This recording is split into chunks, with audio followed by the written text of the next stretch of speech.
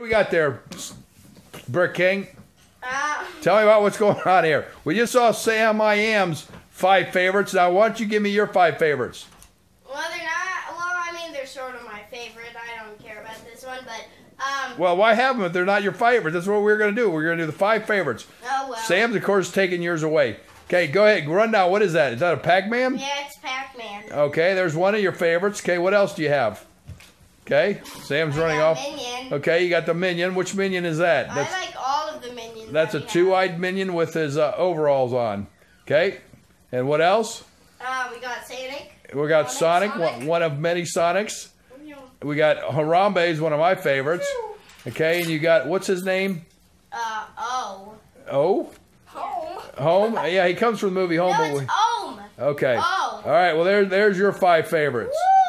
Like, share, subscribe, and comment.